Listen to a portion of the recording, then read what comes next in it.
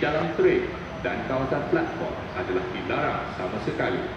Harap maklum dan terima kasih kerana keprihatinan anda. Dear customers, for the safety and well-being of fellow commuters, please be reminded that eating or drinking at station platform.